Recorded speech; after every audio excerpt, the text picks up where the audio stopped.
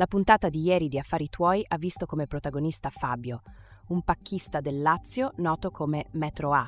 Insieme a sua moglie ha affrontato la sfida del dottore, rendendo il gioco ancora più avvincente. Fabio ha subito pescato diversi pacchi rossi di alto valore, mettendo alla prova la sua determinazione e strategia. Nonostante le difficoltà iniziali, Fabio ha rifiutato la prima offerta del dottore, dimostrando audacia. Ha continuato a giocare eliminando pacchi blu e mantenendo quelli rossi di valore.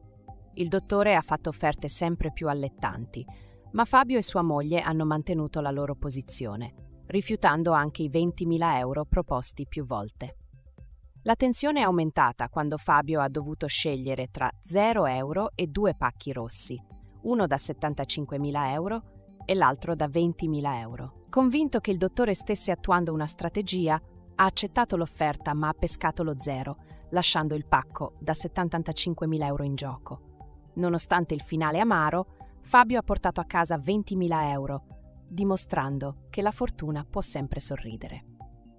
In conclusione, la puntata ha tenuto gli spettatori con il fiato sospeso, tra emozione e delusione per il colpo di scena finale. Fabio ha dimostrato coraggio e determinazione, cioè affrontando le avversità si è a casa ma significativa.